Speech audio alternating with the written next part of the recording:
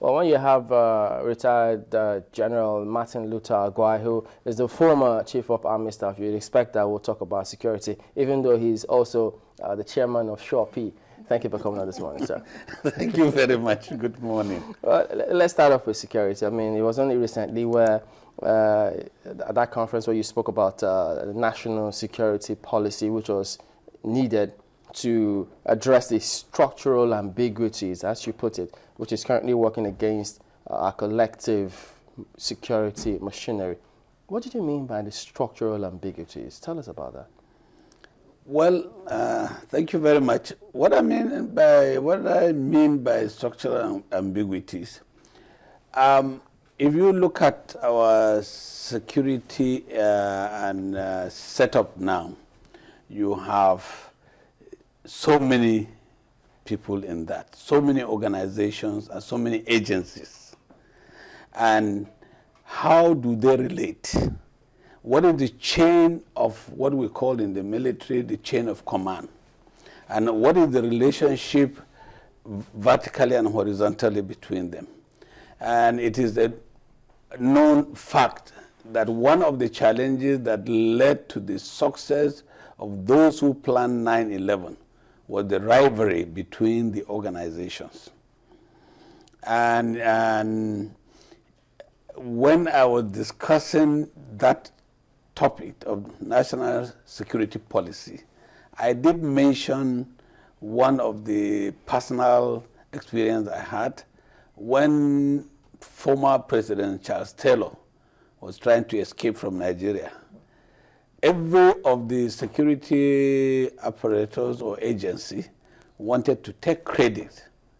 But what interested me most that time was what the then president, President Obasanjo, stated. He said the most important thing is that a Nigerian apprehended him. Who is that Nigerian is immaterial. Because sometimes we spend so much effort, so much fighting each other, to show that we are better and they are the worst, or that we have we are responsible for the success, or that the boss at the top must know before any other person.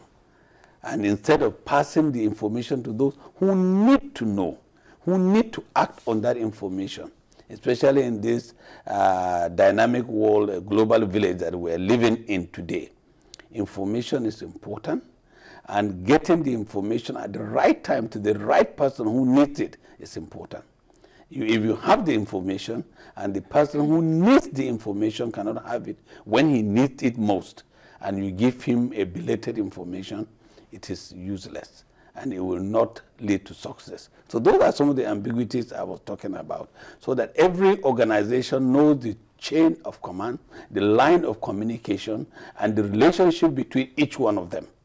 Has it always been like this uh, ever since uh, the advent of our democracy, these ambiguities? Well, uh, this ambiguity has been there. And uh, now with democracy, you, you will agree that there is openness for people to speak their mind.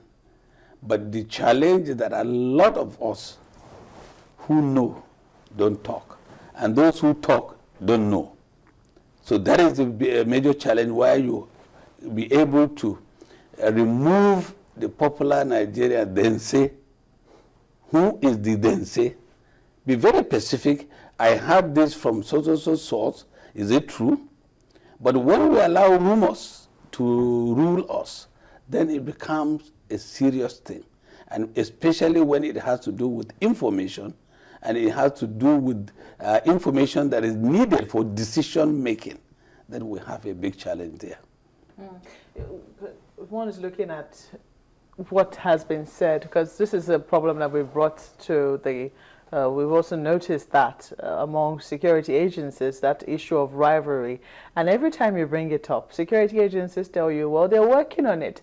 You get to see it maybe during elections where, you know, they say that they have a joint committee. For instance, now the 2015 general elections will be coming up and you will hear that they have a joint task force or some sort, you know, comprising every single unit. And then you ask, what is the place of rivalry? And they say, oh, that is non-existent. Well, that used to be, but is no longer existent.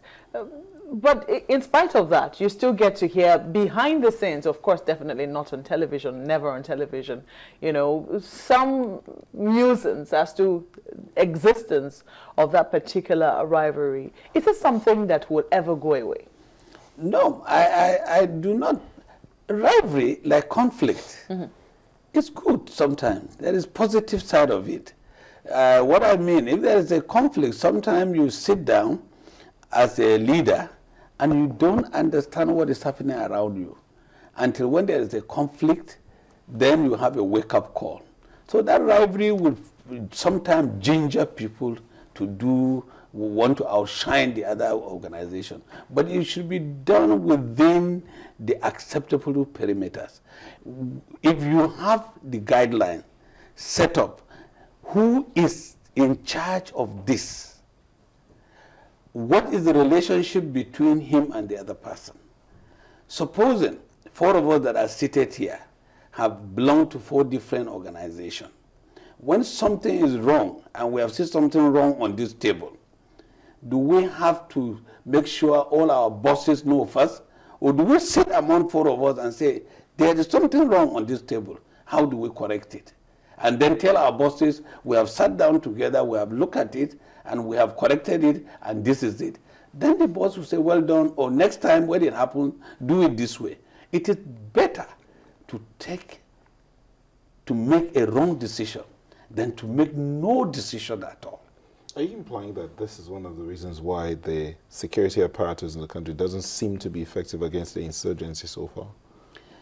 I, I, I do not have all the facts, but I believe that if we have a guiding rule deciding and determine a policy that set up what everybody needs to do.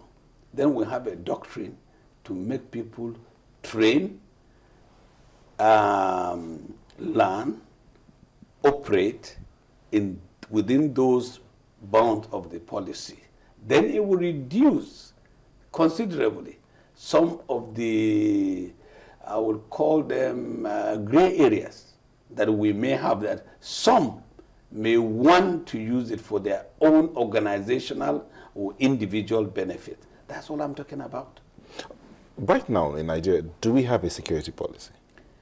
Yes. Is there any in existence? Uh, there, there, definitely there, there is a security policy. But you don't think it, but, it's but effective? I, this is what I'm saying. And I will, I will be, uh, let me also add to uh, let's not look at it completely from the negative aspect. I was made to understand that currently there is a policy, a draft decision going on, and uh, soon, and I hope, and I, I said in that my lecture, that if it is on, then we have to fast track it because time is not on our side. But there is something going on, and I'm happy that most of our security agencies have understood that there is something wrong and they are working on it.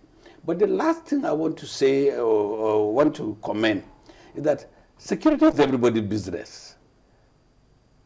And as the world is today, we have gone into where human security is paramount, not state security. Because it takes the human being in that state to survive before you have a state. If we all die, who will live in that state? So human eh, security is paramount. And because it is paramount, and we are in a democratic setup, the people themselves must have a say in that security policy. Because you understand what you mean. Security is for you to feel secured that you can leave this studio and go home and sleep and come back tomorrow without feel being threatened. That you can have a shelter over your head. That you can go to a medical doctor when you are sick. That your children can go to school. These are part of security. And that, that is what human security is paramount. So because the human being is at the center today, then the human being himself should have a say in that security policy that we are going to have. So will this policy be backed by the Constitution? That if, if it is not backed, then it is not a policy. And that is why I know, at least uh, I was part of the group that came up with the last or the first Nigerian defense policy. And it's backed. By the, it's an act. It's backed constitutionally. So the same thing, the policy we're talking about, should be a national policy backed constitutionally that makes it easier to operate and that makes it easier to challenge or to discipline those who are contrary to the policy.